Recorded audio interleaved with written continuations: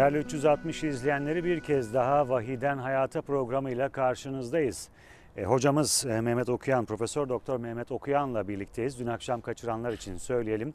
E, Vahiden Hayata programımızda e, Kur'an okuyan e, sevenlerimiz, e, Müslüman kardeşlerimiz hocamızın açıklamalarıyla aynı zamanda okuduklarını anlamak anlamında birer e, adım da atacaklar. Hocam dün e, çok güzel bir şekilde Ramazan'ın Kur'an'la ilişkisini ve e, başlarken birinci cüzün neler anlattığına değindiniz ama e, çok da vaktimiz kalmadı. Birinci cüzün önemli noktalarına da bugün anlatacaksınız ve aynı zamanda ikinci cüze de geçeceğiz diyerek Evet. hoş geldiniz diyeyim ben size tekrar. Teşekkür ederim. Sağ olun.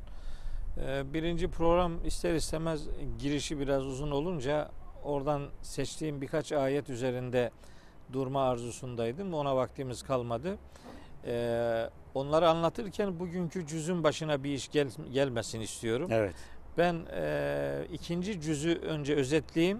Tabii, Sonra nasıl, isterseniz. olsa Bakara suresi aynı sure olduğu için oradan birkaç ayeti kardeşlerime özellikle hatırlatmak istiyorum. Amacımız Ramazan'da Müslüman kardeşlerimizin Kur'an'ın manasıyla buluşmasını sağlamak. Yaptığımız işin adı bu, hedefi bu, niyeti bu, amacı bu. Kur'an okumanın aslında Kur'an anlamak demek olduğu, anladığımız vahyi hayata aktarmak durumunda olduğumuzu unutmamamız lazım geldiğine hizmet eden bir program yapmaya gayret ediyoruz. İkinci cüz yine Bakara suresinden oluşuyor. 142. ayetten ta 252. ayete kadar ikinci cüz Bakara suresinden oluşuyor. Ne var bu cüzde? Önce 142. ayetten itibaren bir bölüm ayet kıble ile alakalı bilgi verir. Biz namazda Kabe'ye doğru dönüyoruz. Bu herhangi bir insanın icdihadı değildir. Bu peygamberimize Cenab-ı Hakk'ın doğrudan emrettiği bir yöneliş adresidir ve bunun Kur'ancası fevelli vecheke şatral mescidil haram yüzünü Mescid-i Haram tarafına doğru çevir ifadesi birkaç defa geçer burada. Onun geçtiği yerler Kur'an'ın işte ikinci cüzüdür. Kardeşlerim bunu özellikle ikinci cüzü merak ederlerse bu konuyu baş ayetlerde bulacaklardır. Ardından çok istismar edilen, çok yanlış konuşulan, çok yanlış yerlerde kullanılan bir ayet e, var. O o ayeti kardeşlerimin doğru anlamasını isterim. Ayet şu. Buyuruyor ki Yüce Allah 155. ayeti Bakara suresinin. Ve lenebluvennekum bi şey'in minel havfi vel cu'i ve naqsin minel emvali vel enfusi ve semerati ve beşşiris sabirin. Biz sizi bazı şeylerle deneyeceğiz diyor Allahu Teala. Bunlardan biri açlık, biri korku, biri malların eksilmesi, biri canların eksilmesi. Bunları sizi imtihan etmek için hayatınızın içerisine yerleştireceğiz. Dolayısıyla bakalım hanginiz daha sabırlı, hanginiz daha dayanıklı bir duruş ortaya koyuyorsunuz. Bu denemek içindir.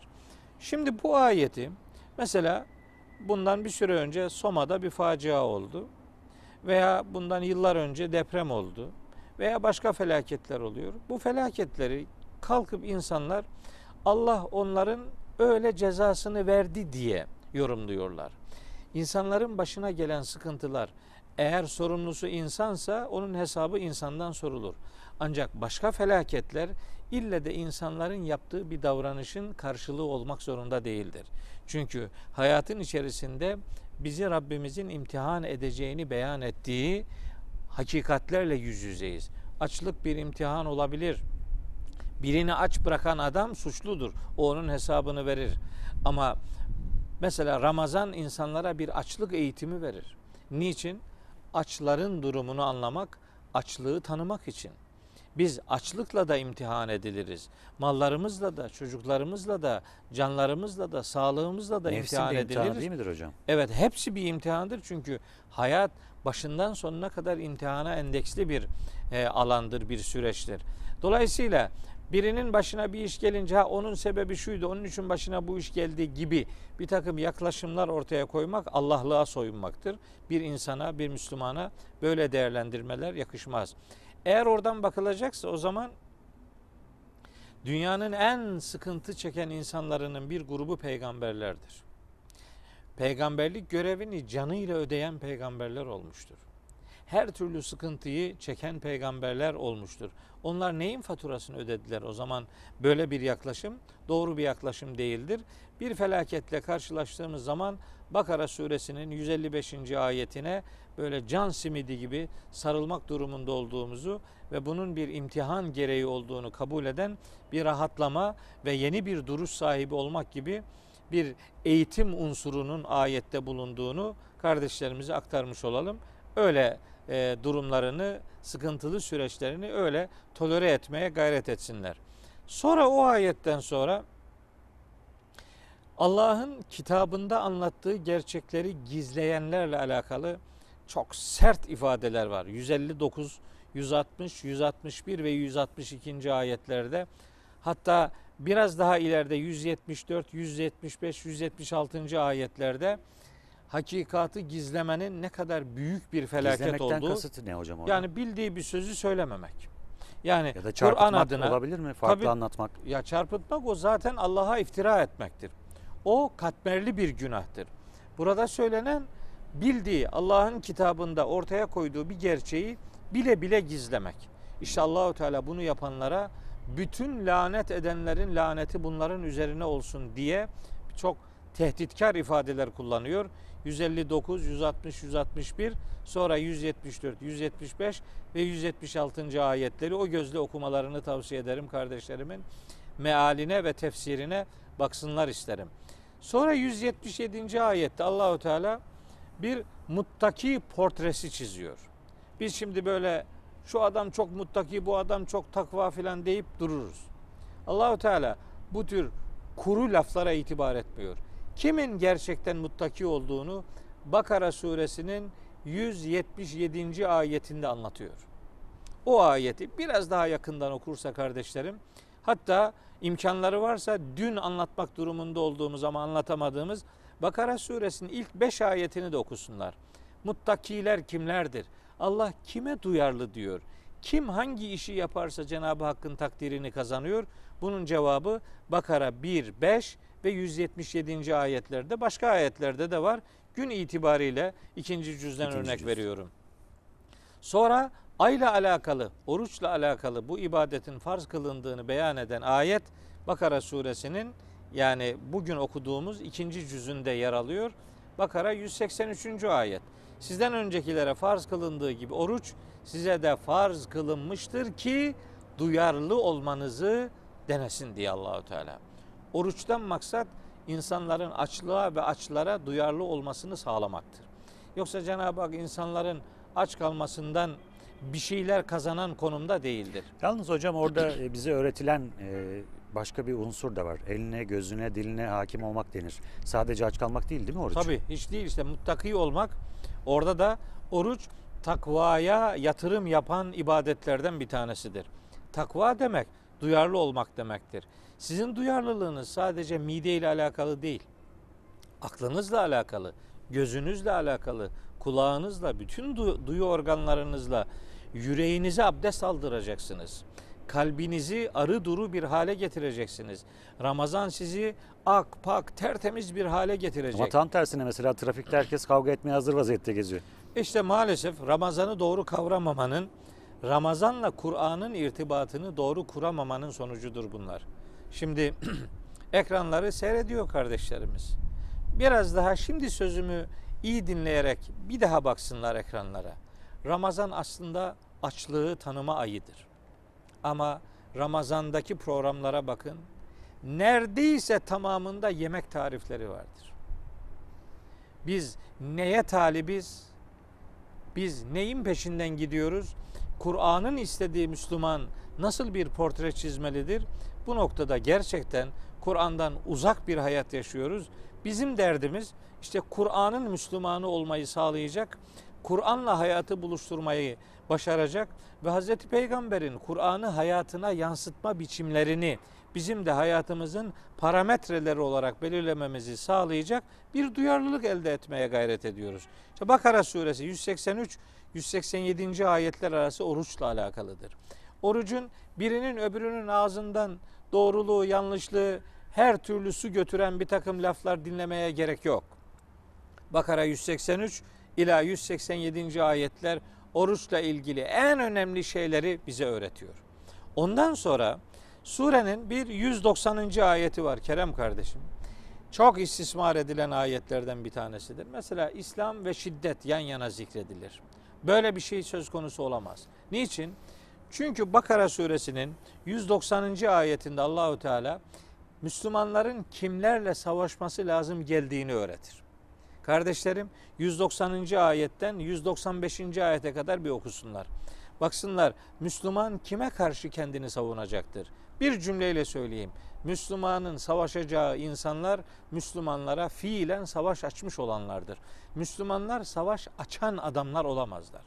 Müslümanlar kendilerine savaş açılmışsa açılan savaşa karşı kendini savunan adamlardır. Dolayısıyla cihat kavramı son derece speküle edilir. Cihat adam öldürmek diye zannedilir. Asla böyle değildir. Cihat adam kazanmak için yapılan fedakarlıkların adıdır. Cihat adam öldürmenin adı değildir. Size biri savaş açmışsa siz kendinizi savunursunuz. Bu en tabii hakkınızdır. Ama durduğu yerde duran adam neye inanıyor olursa olsun bir başkasına zulmetmiyorsa, bir başkasına hayatı zindan etmiyorsa, bir zalimlik içerisinde insanlara hayatı çekilmez hale getirmiyorsa insan istediği gibi inanabilir. Neticede hesabını Allah'a verecektir. Hesabını Allah'a verecek olanın hesabını görmek insanların haddine değildir. Böyle bir densizlik, böyle bir sınırsızlık içerisine kesinlikle girilmemesi lazım. Bakara suresinin işte bu 190 ve 195. ayetleri Kur'an'ın savaş ahlakını öğretir. Tabi başka ayetler de var. Cüz bu cüz olduğu için Evet, bunları söylüyorum. cüzdeyiz. Sonra 196. ayetten ta 203. ayete kadar hacla ilgili son derece önemli noktalar üzerinde duran hatırlatmalar vardır. O ayetlerin detayını kardeşlerim mealden ve tefsirden okusunlar. Sonra bir 214. ayeti var Bakara suresinin. O ayet herkesi kendine getirmesi lazım gelen bir mesajla bize seslenir. Der ki Rabbimiz orada Estağfirullah. Em hasibtum siz şöyle mi zannediyorsunuz? En tedhulul cennete. Cennete gireceksiniz öyle mi? Ve lemma ye'tikum meselul lezine halev min kablikum. Sizden öncekilerin başına gelenlerin benzerleri sizin de başınıza gelmedikçe cennete gireceğinizi mi zannediyorsunuz? Messethumul be'sa'u ve darra'u ve zulzilu. Onların başına öyle sıkıntılar, öyle felaketler gelmiş, öyle sarsıntılar geçirmişlerdi ki hatta yekuler Resulü vellezine amenu ma'ah peygamber ve onunla beraber olanlar şöyle demek zorunda kaldılar.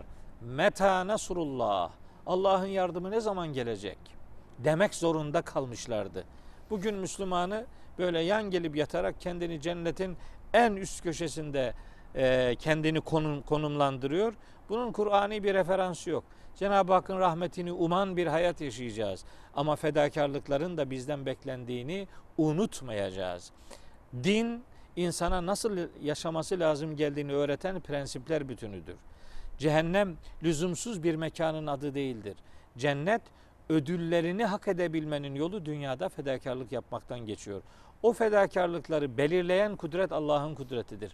Allah neleri bizden istiyorsa onu öğreneceğimiz kaynak Kur'an-ı Kerim'dir. Kerim. Peygamberimiz 23 yıllık peygamberlik risalet hayatı boyunca ümmetine sadece Kur'an'ı anlattı. Şimdi bizim yapmak arzusu taşıdığımız mesele de Kur'an'ın hayata taşınmasını, vahyin hayata taşınmasını sağlamaktır. İşte ikinci cüzde içki ve kumarın yasaklığıyla alakalı ayetler vardır. Kadınların özel halleriyle ilgili nasıl davranılacağına dair son derece açık bir ayet vardır. 220 e, ayetin numarasını yanlış söyleyeyim. 222. ayet ve ondan sonra e, bir grup ayet 228. ayetten itibaren boşanmayla alakalı. İnsanlar evlilik hayatlarını sona erdirmek durumunda kalırlarsa nasıl bir prosedür takip etmelidirler? Onun detayları vardır. Ve nihayet cüzün son bölüm ayetinde ki 246. ayetten 252. ayete kadarki bölümdür. Burada Hazreti Davud'un Talut ve Calud'un bir kıssası anlatılır. Çok kısa birkaç ayetlik bir bölümdür ama bir peygamber ahlakının haktan yana olanlarla batıldan yana olanların nasıl bir mücadele ortaya koyduğu o son iki sayfada 246 ile 252. ayetlerde özetlenmektedir. Kardeşlerim böyle bakarlarsa e, vahiyden hayata yansıtılacak pek çok noktayı görmüş olacaklardır. Hocam ağzınıza sağlık. Yine programın süresini doldurduk. Evet. E, ama yetmiyor belli ki. Yarın devam edeceğiz. İnşallah. Şimdilik üçüncüsü. veda ediyoruz. Vahiden hayata da yarın buluşmak üzere efendim. Hoşçakalın.